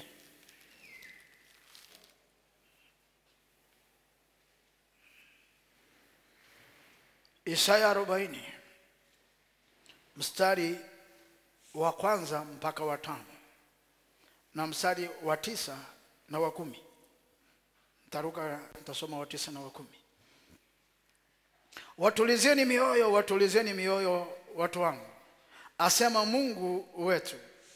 Simameni na semeni na moyo wa Yerusalemu, kawaambieni kwa sauti kuu ya kwamba vita vyake vimekwisha, uovu wake umeachiliwa, kwa kuwa amepokea kwa Bwana, kwa mkono wa Bwana adhabu maradufu kwa dhambi zake zote. Angalia mstari wa tatu, anasema vita vimefanya nini? Vimeisha. Unajua ukisikia vita vimeisha, unaweza ukafikiri vimeisha automatic. Ukiona ulimwengu wa roho umeongea, ulimwengu wa mwili una cha kufanya. Bwana asifiwe. Ni kama vile Mungu anakuambia, mwanangu, nimeshakubariki. Unajua, unaweza ukashangilia nimebarikiwa, unaweza ukafa na usishiriki hizo baraka kama utatiwa ufahamu nini cha kufanya mwilini ili baraka zilizoko kwenye ulimwengu wa roho zifike kwako. Ukiona ulimwengu wa roho umeongea, ulimwengu wa mwili una cha kufanya. Bwana asifiwe. Anasema eh, aongee na moyo wa Yerusalemu na akauambie kwamba vita vyake vimekwisha, uovu wake umefanya nini? Umeachiliwa. Lakini angalia nini cha kufanya kwa upande wetu sasa huko, au mwanadamu afanye nini? Angalia mstari wa tatu, anasema sikiliza, ni sauti ya mtu aliaye, itengenezeni nyikani njia ya Bwana. Nini kinafanya vita iishe? Matengenezo. Mungu anasema vita imeisha kule rohoni, huko anasema sasa tengenezeni. Maana usipotengeneza vita itaendelea. Sijui kama kuna mtu ninaongea naye. Bwana wetu Yesu Kristo asifiwe. Anasema itengenezeni nyikani njia ya Bwana, nyosheni jangwani njia kuu kwa Mungu wetu. Kila bonde litainuliwa na kila mlima na kilima kitashushwa. Palipopotoka patakuwa pamenyoka, na palipoparuza patazawazishwa, na utukufu wa Bwana utafunuliwa, na wote mwenye mwili watauona pamoja, kwa kuwa kinywa cha Bwana kimenena haya. Angalia mstari wa tisa na wa kumi. Wewe uhubirie Sayuni habari njema, panda juu ya mlima mrefu. Wewe uhubirie Yerusalemu habari njema, paza sauti kwa nguvu, paza sauti yako, usiogope. Uiambie Yerusalemu, tazameni, tazameni Mungu wenu, tazameni Bwana atakuja kama shujaa, na mkono wake ndio utakaomtawalia. Tazameni thawabu yake ii pamoja naye, na ijara yake ii mbele zake. Bwana wetu Yesu Kristo asifiwe. Alipeleka mtu wa kwenda kutangaza habari, alipeleka mtu wa kwenda kusema nao. Angalia kitu ambacho alisema nao. Alisema nao mambo mawili. Jambo la kwanza ni kwamba ile hali waliokuwa wanapitia sasa inaenda kufika mwisho, lakini jambo la pili, ili ifike mwisho, nini wao wafanye kwa upande wao. haleluya. Na wakishafanya kwa upande wao nini mbingu itafanya? Mbingu itafanya mambo mawili. Mkono wa mungu utaonyesha utawala wake. Alafu na utukufu utafunuliwa na wote wenye mwili watauona. Kanisa linapokuwa ndani ya ufalme linaanza kutukuzwa mbele za walioko nje sijui kama umeelewa kitu nimesema. Walio nje hawawezi kujua kanisa ni nini mpaka kanisa liwe ndani ya ufalme.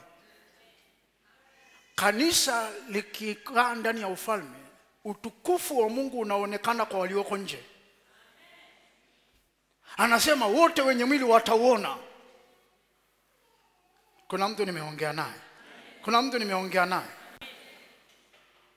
Kitu cha pili kitu cha tatu kitu cha tatu. Ufalme wa mungu ili uweze kukaa mahali uhitaji eneo. Uhitaji nini? Eneo. Ufalme wa mungu ili ukae mahali ufalme wa mungu uhitaji eneo lenye mipaka halali. Haleluya moja nikwambia kitu cha muhimu sana. Mungu anapokuja anatembelea vitu viwili kwa wakati mmoja. Anamtembelea mtu na eneo linalomhusu. Mungu akija haji kwako peke yake. Akija kwako anaweza asitukuzwe sana. Akija kwako na kwenye eneo eneo linazaa vitu ambavyo vinamtukuza mungu. Kuna mtu nimeongea naye? Okay fungua kitabu cha zaburi. Zaburi ya sitini na tano mstari wa tisa na mia na nne mstari wa thelathini.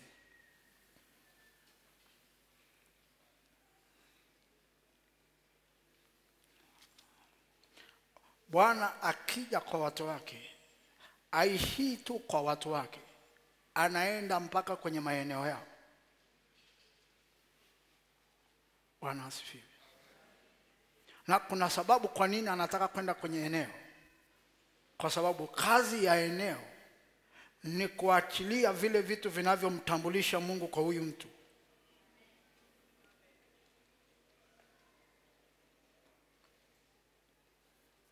Sikiliza nikwambie mungu kabla hajatembelea eneo lako hajabadilisha maisha yako. Mungu akitaka kubadilisha maisha yako hakutembelei wewe peke yake hata kukutembelea na eneo linalokuhusu. Bwana asifiwe. Bwana asifiwe. Bwana asifiwe. Kinachosababisha maisha ya mtu yabadilike sio kutembelewa kwa huyu mtu peke yake ni kutembelewa na mazingira yanayomhusu kwa sababu kazi ya mazingira ni kuruhusu ustawi. Kuna watu ambao hawaendi kwa sababu mazingira yao hayaendi. Sikiliza nikwambie. Ulimwengu wa roho ukitaka kukukwamisha unaweza usikukwamisha wewe ukakwamisha mazingira yako. Kuna mtu nimeongea naye. Wasomaji wa Biblia wanaelewa. Kuna mtu mmoja anaitwa konia. Mungu alipotaka kuondoa ukuu juu yake hakwenda kwa konia alienda kwenye ardhi ya konia. Akaambia ardhi andika habari za mtu huyu. Huyu mtu hana watoto. Hakuna hatafanikiwa yeye wala hakuna wa kizazi chake atakayefanya nini atakayefanikiwa. Ile ile adhabu haikwenda kwake moja kwa moja ilienda kwenye ardhi. Kuna mtu naongea naye? Moja nikwambie. Adhabu ya adamu haikwenda kwa adamu moja kwa moja mungu alimwambia adamu ardhi imelaaniwa kwa ajili yako. Hakusema wewe umelaaniwa ardhi imelaaniwa. Kwa hiyo ili mungu aweze kuondoa kile kilichoko kwenye ardhi lazima kwanza aijilie tena ardhi aifungue. Ardhi ikifunguliwa yule mwenye yule mwenye ardhi kila mahali atakapokanyaga atafanikiwa. Ukiona ufanikiwi kimwili inawezekana kuna namna ujio uliopo haujafika kwenye mazingira yanayokuhusu Sikiza nikwambie, sikiza nikwambie, ulishawahi kusoma habari za mchungaji mmoja anaitwa Antipa kwenye Biblia? Wangapi walisoma Antipa? Shahidi mwaminifu, mzuri sana kiroho, yuko perfect mpaka mbingu inamsifia, lakini mazingira yake yalikuwa yanasoma kitu kingine. Angalia kama alifaulu.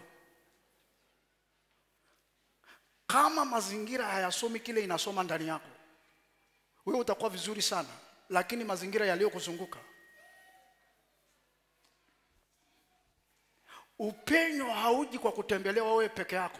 Upenyo unatengenezwa kwa kutembelewa wewe na mazingira yako.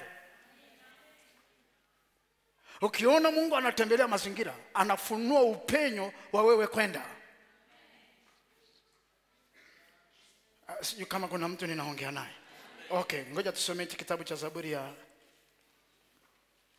ya 65.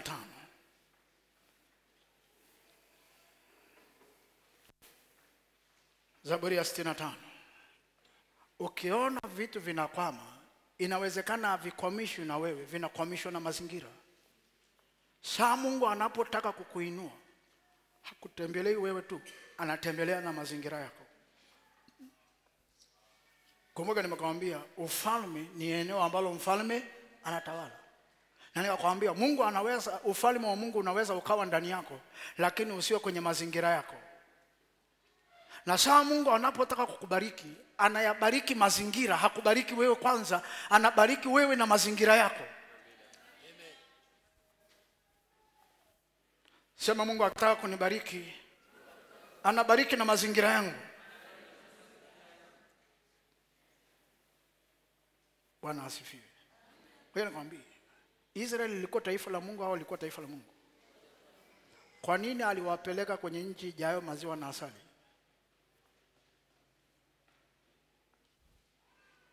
Kwa nini asingewaacha pale Misri?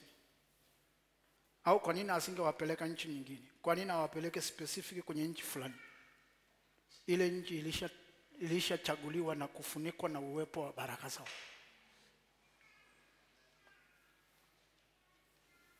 Kwa hiyo Mungu alishaitengeneza ile nchi kabla hajawakabidhi. Na ngoja nikwambie, mahali popote Mungu ameshaweka mkono wake, hata kama ni jangwa, litageuka kuwa chemichemi. Kuna mtu ninaongea naye. Dalili kwamba Mungu amesha kutembelea ni kubadilika kwa mazingira yako ili kubadilika kwa maisha yako. Maisha yako hayawezi badilika mpaka mazingira yamebadilika. Kuna watu mazingira yao rohoni hayajabadilika, kwa hiyo hali yao mwilini na yenyewe haibadiliki. Msalimie jirani yako, mwambie Mungu akitaka kukubadilisha mwilini hakubadilishi wewe peke yako, anakubadilisha na mazingira yako. Okay, ngoja tuangalie, nakimbizana na muda kidogo. Ngoja tuangalie Zaburi ya 65 mstari wa tisa. Anasema umeijilia nchi na kuistawisha. Ameijilia nini? Nchi, sio mtu. Kwa lengo la kufanya nini? La kuistawisha. Bwana asifiwe sana. Anasema umeijilia nchi na kuistawisha, umeitajirisha sana. Mto wa Mungu umejaa maji, wawaruzuku watu nafaka, maana ndiye atengenezaye ardhi. Ulishawahi kumwona Mungu anatengeneza ardhi? Bwana asifiwe sana. Ngoja nikwambie, Mungu ni roho. Kama anatengeneza ardhi, maana yake ardhi ni kitu cha kiroho kabla hakijawa kitu cha kimwili. Sijui kama naongea na mtu mmoja. Bwana wetu Yesu Kristo asifiwe. Kama Mungu ni roho, maana yake kuna namna ardhi na yenyewe ni kitu cha kiroho, kwa hiyo kina uwezo wa kutengenezwa rohoni bila we kuona. Dalili kwamba imeshatengenezwa ni matokeo utakayoyaona damu na nyama. Anasema nimeijilia nchi. Alipoijilia nchi, kitu cha kwanza akaitengeneza, kitu cha pili akaitajirisha. Elewa, Mungu hawezi tajirisha nchi kwa ajili ya nchi. Mungu anatajirisha nchi kwa ajili ya mtu, lakini ili amtajirishe huyu mtu, hamjilii mtu, anaijilia nini? nchi anajilia mazingira yake anaijilia ardhi yake. Ardhi isiyojiliwa inaweza isikupe matokeo. Kuna watu wana vita kwa sababu ya aina ya ardhi mahali walipo. Ardhi ina makatazo juu ya kitu unafanya na ardhi isipokaa upande wako hicho kitu hakiwezi kwenda hivi kuna mtu unaongea naye? Kilicholeta shida kwa kaini ni ardhi ilinyimwa kumpa mazao. Alisema hivi ukiilima haikupi kitu. Kama ardhi ina makatazo ardhi utaifanyia kila kitu lakini matunda utayapata kuna mtu ninaongea naye kwenye kitabu cha Hagai anasema mbingu zimezuiliwa na nchi imefanya nini? Imezuiliwa. Kwa hiyo kuna mbingu zenye zuio na ardhi yenye zuio. Kama ardhi inazuio na mbingu zinazuio, elewa, hakuna kitu utafanya. Hata kama wewe mwenyewe Mungu ameshatamka baraka juu yako, hakuna kitu utafanya kikaenda mpaka Mungu ameenda kwenye ardhi. Akienda kwenye ardhi, anaijilia kwenye anaijilia ardhi sasa kwa lengo la kuitengeneza, kuondoa ule uharibifu uliokuwepo uliokuwa unazuia utajiri usionekane. Anasema sasa, nimeijilia kwa lengo la kuitajirisha, lakini nitaitengeneza kwanza. Ndio maana kwenye kitabu cha Isaya anasema tengenezeni. Moja ya kitu cha kutengeneza ni ardhi, ili Mungu aitendelee ardhi, iombee ardhi toba. Unapotubu kwa ajili ya ardhi, ni kama unamleta Mungu afanye matengenezo, na baada ya muda kile unachofanya juu ya hiyo ardhi kitabadilika. Kama ni ufugaji utabadilika, kama ni huduma itabadilika, kama ni biashara itabadilika. Ardhi ikishapokea ufalme, kilichoko juu ya ardhi na chenyewe kinatembea katika neema ya ule ufalme. Sasa ni rahisi sana kubadilika. Ugumu mwingine uko kwenye ardhi tunayofanyia vitu.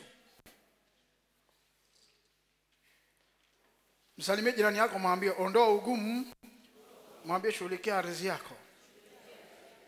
Haleluya. Okay, kitabu cha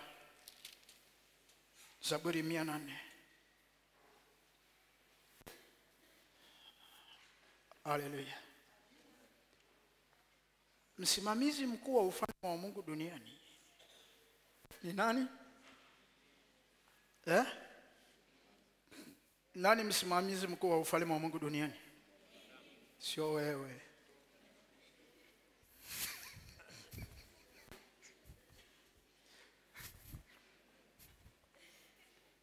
Haleluya. Ufalme wa Mungu sio kula wala kunywa, bali ni nini? Haki, amani, ehe, na furaha katika nani? Roho Mtakatifu.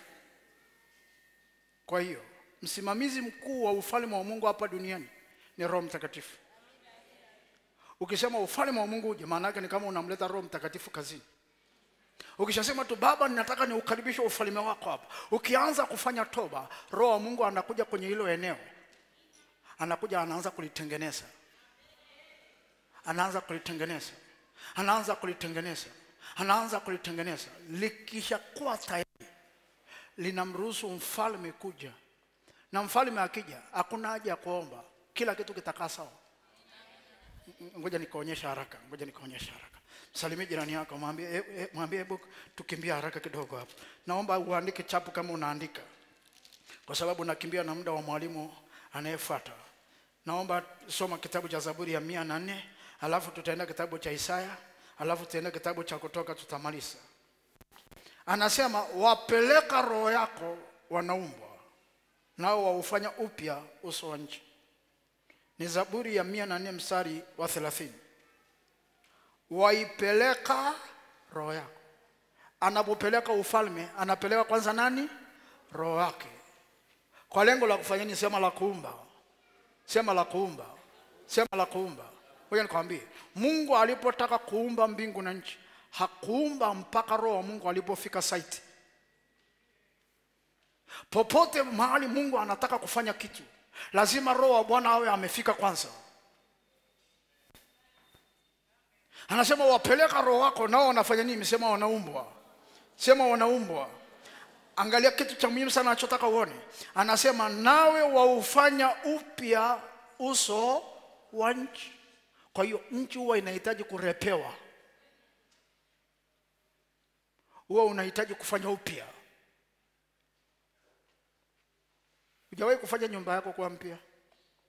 Unaipiga rangi. Unaikarabati. Mtu akija unafikiri umeijenga leo. Kumbe ni bati umepiga rangi na huku nje umepiga rangi. Mtu akiangalia unafikiri umehamia jana. Kuna saa ardhi ya eneo inahitaji kufanywa upya. Haleluya haleluya na ndio maana ukienda mahali ukikanyaga ardhi yoyote ifanye upya kabla hujaifanyia kazi. Ifanye upya kwanza. Na ni kazi ya roho mtakatifu pamoja na wewe kuifanya upya. Na anaifanya upya kwa lengo la kuuleta ufalme. Bwana wetu yesu kristo asifiwe. Bwana asifiwe.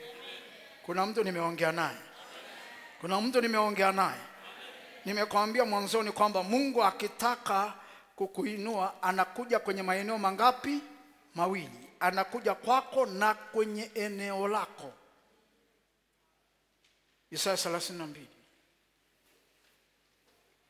haleluya roho bwana akishakuja kwenye eneo mabadiliko hutokea kwenye ulimwengu wa roho na hatimaye hudhihirika kwenye ulimwengu wa mwili.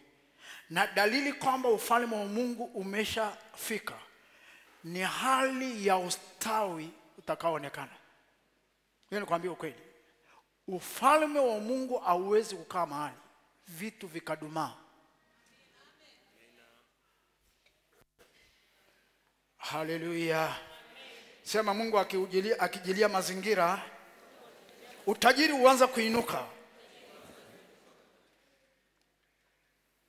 Isaya sura ya 32 isaya sura ya 32 mstari ule wa 15 anasema hata roho atakapomwagwa juu yetu kutoka juu. Hata roho atakapomwagwa juu yetu kutoka juu. Angalia. Hata jangwa litakapokuwa shamba lizaalo sana nalo shamba lizaalo sana litakapohesabiwa kuwa msitu. Nataka uone roho mungu atakapotoka juu angalia mahala anaenda anaenda jangwani kwa lengo la kuondoa jangwa na kulifanya jangwa liwe shamba Ndio maana majilio ni eneo la muhimu sana. Huwezi fanikiwa kabla hujajiliwa. Nimesemaje? Ili uweze kufanikiwa, kinacholeta mafanikio ni Mungu kuja. Mungu akija, anakuja kwako na anakuja kwenye mazingira yako kwa wakati mmoja. Haleluya! Elewa, Mungu akija kwako, asipokuja kwenye mazingira, unaweza ukaenda vizuri sana kiroho, lakini kimwili uendi. Na ngoja nikwambie, watu wasioenda kimwili, usifikiri hawana Mungu. Wana Mungu kabisa, lakini wamejiliwa eneo moja tu, wamejiliwa eneo la kiroho. Eh? Bwana asifiwe. Msalimie jirani yako, mwambie ukijiliwa eneo moja, ilo eneo linaenda vizuri sana. Lakini Mungu akikujilia eneo la kiroho na hapo hapo akikujilia eneo la kimwili, ufalme wake ukaonekana mwilini. Sasa sio tu ndani yako peke yake. Dalili kwamba ufalme wa Mungu umeonekana mwilini ni vitu vya kimwili kuanza kustawi, ni mazingira ya nje ya kuanza kustawi, ni jangwa kubadilika kutoka kwenye maisha ya kwenda jangwani na kuanza kuishi maisha ambayo ni tofauti na yale yaliyokuwepo. Kuna mtu ninaongea naye. Bwana wetu Yesu Kristo asifiwe. Okay, ngoja nikuonyeshe kitabu cha Kutoka tukamalize hapo, tukamalize hapo, tukaombe dakika chache kwa ajili ya ufalme wa Mungu. Ah, hata muda wa kuomba umeisha. Msalimie jirani yako, mwambie ufalme wa Mungu ukisha kuja na mazingira yakisha kubali, mwambie baraka zinakuwepo. Okay, kuja tusome hapo, kuja tusome hapo. Biblia inasema kwenye hicho kitabu cha Kutoka 24 mstari ule wa tisa, ndipo akakwea juu musa na haruni na nadabu na abiu na watu sabini miongoni mwa wana wa israeli. Sema wakamwona mungu. E, biblia inasema wakamwona mungu wa israeli. Chini ya miguu yake palikuwa kama sakafu iliyofanyizwa kwa yakuti samawi. Kama zile mbingu zenyewe kwa usafi wake. Yaani pale walipoenda kuombea walimuona nani? Mungu. Angalia kilichomleta mungu mazingira. Mahali pale ambapo walikuwa wanaombea mazingira yalibadilika yakawa kama yakuti samawi. Halafu wakaona miguu ya mungu. Mbingu ni kiti cha enzi. Dunia ni mahali pa kufanya nini? Pa kuweka miguu. Wakaona miguu ya mungu kilicholeta miguu ya mungu kukanyaga pale ni hali ya mazingira yaliyokuwa yametengenezwa kwa ajili yake. Yale mazingira yalikuwa kama zile mbingu zenyewe kwa uzuri wake. Huwezi mleta mungu mpaka umemwandalia mazingira. Bwana asifiwe sana. Bwana asifiwe sana. Ili mungu aje kwenye mazingira lazima mazingira yafanane na yeye. Kwenye kwambie, hakuna mfalme anayeenda mahali na mazingira yasikae sawa saa ugeni unaingia mahali. Dalili kwamba kuna ugeni mkubwa unaingia mahali. Angalia pilika pilika za watu kuandaa mazingira. Rais akiingia mahali utaona na barabara zinatengenezwa kama hazipitiki zina- zinatengenezwa. Nakwambia zitamwaga unamwona kama ni, ni, ni, ni sio za lami zitamwaga na maram nakwambia watu watakaa ka- kwenye- bize karibia wiki nzima wanaandaa mazingira. Rais anakuja siku moja tu. Hivi naongea na mtu mmoja kama rais anayekuja siku moja tu mazingira yanaandaliwa kwa kasi namna hiyo mungu unayetaka akae kwenye hilo eneo milele unamwandaliaje? Wewe hujaandaa mazingira unasema mungu ufalme wako uje. Anasema no. Sina mahali pa kuweka ufalme. Na siwezi weka ufalme bila mimi kuwepo. Kwa sababu hakuna ufalme unaopareti wenyewe. Ah, hivi kuna mtu ninaongea naye sema lazima mazingira yafanane na mungu tunayemkaribisha. Yale mazingira waliokwenda kuombea inaonekana waliyashughulikia kweli. Yakawa kama zile mbingu zenyewe kwa usafi wake. Angalia mstari wa kumi na moja sasa. Naye hakuweka mkono wake juu ya hao wakuu wa wana wa israeli. Nao wakamwona mungu wakala na kunywa. Bwana asifiwe yaani wala hawakuhitaji maombi ya musa. Msalimie mwenzako mwambie mahali mungu, ana, mahali mungu yupo na ufalme wake. Mwambie wala uhitaji kuombewa. Mwambie vya kwako viko hapo. Mwambie utakula na kunywa. Wewe nikwambie kanisa haliwezi kula na kunywa nje ya ufalme, lazima lile ndani ya ufalme. Ufalme wa Mungu ukija unakuja na baraka za wana wa ufalme.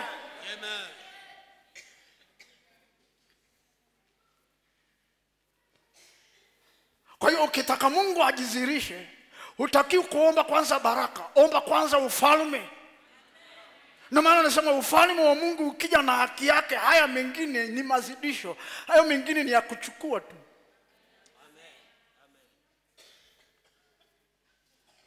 Hao watu baada ya kumwona Mungu na ufalme wake wakala wakanywa, wala wakuhitaji mkono wa Musa. Jamani, niwekee mkono nipate upenyo, ni, wacha nikuwekee mkono upate ufalme. Ufalme ukishakuja, upenyo wako ni wa kwako mwenyewe. Nakwambia wala uhitaji maombi ili uende. Ufalme wenyewe umeshakuja, umetengeneza mazingira. Ufalme wa Mungu ukija, nakwambia Mungu anaitajirisha ile nchi yako, anatajirisha yale mazingira yako. Kila kitu unachokifanya kinaenda, kila kitu unachokifanya kinastawi.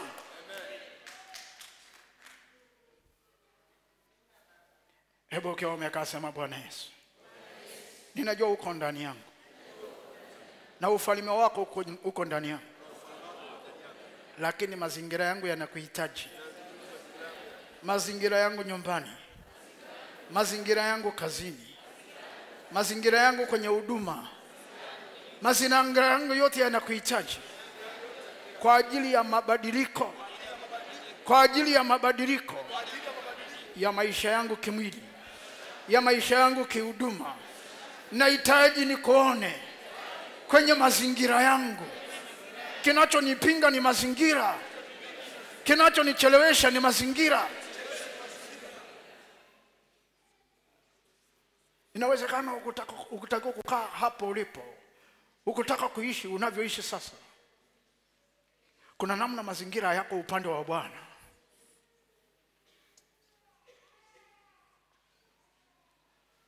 Hili kongamano.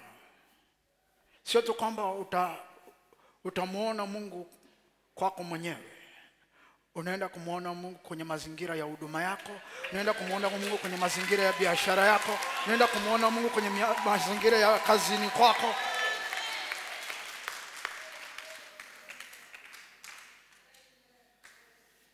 Baba Mungu, katika jina la Yesu,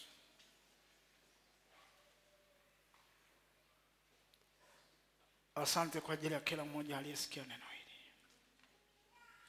Inawezekana kuna mtu yuko anapita pagumu sana, lakini kinachomtesa ni mazingira.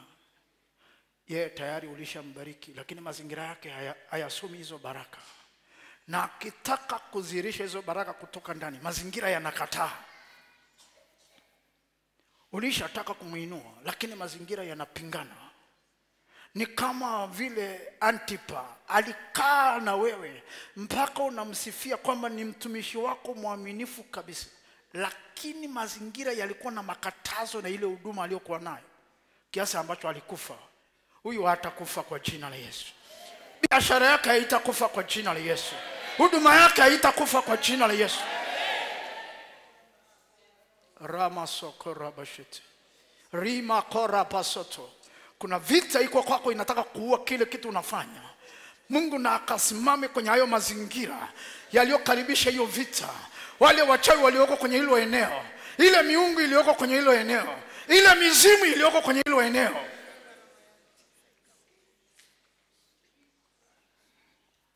Lara mama soko borabashita malio kabaro soko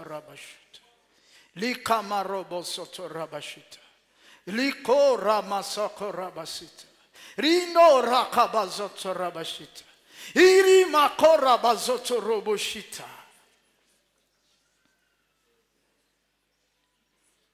sio wakati wa kufunguliwa kwako tu peke yako. Na mazingira yanayokuhusu. Yaweze kubeba ufalme. Na yakibeba ufalme, dalili kwamba ufalme umeshakuja kwenye mazingira ni baraka za kuonekana damu na nyama, na wote wenye mwili watauona utukufu wa Mungu kwako, na wote wenye mwili watamtukuza Bwana. Hawajamuona Bwana kwa sababu Bwana anakaa ndani yako. Sasa atatoka ndani yako, ataenda kwenye mazingira na watamuona Bwana, watamuona Bwana. Kanisa lako litakuwa makimbilio, maana watamuona Bwana, watamuona Bwana. Ile biashara yako itakuwa makimbilio, maana watamuona Bwana, watamuona Bwana. Robobo shaka ya batela. Taa za ndani hazivuti watu, taa za nje. Kuna watu ni wazuri sana kwa ndani, lakini nje hawajachomoza bado. Kwa hiyo hakuna mtu anayejua kile walichobeba. Hakuna mtu anayejua wao ni kina nani, kwa sababu taa za ndani zinawaka, lakini za nje, utambulisho wao nje haupo. Mungu akakutambulishe, na kazi mojawapo ya ufalme wa Mungu ni kukutambulisha, ni kukutambulisha. Nakwambia Mungu anaenda kukutambulisha. Kijijini kwako watajua, mjini kwako watajua, wao waliokuzunguka watajua, watajua.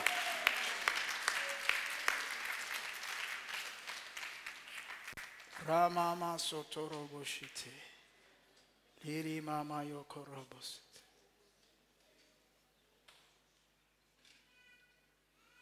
Shederebos. Hallelujah. Hallelujah.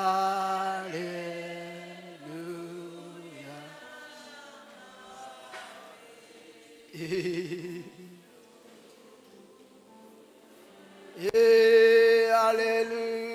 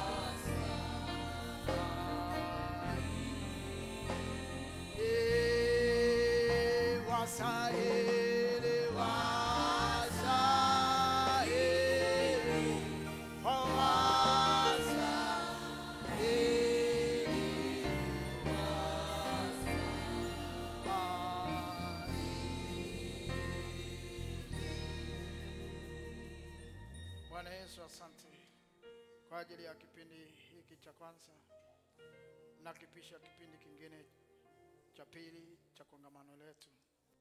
Roho Mtakatifu, karibu sasa, kaseme nasi tena kupitia mtumishi wako anapokwenda kusimama.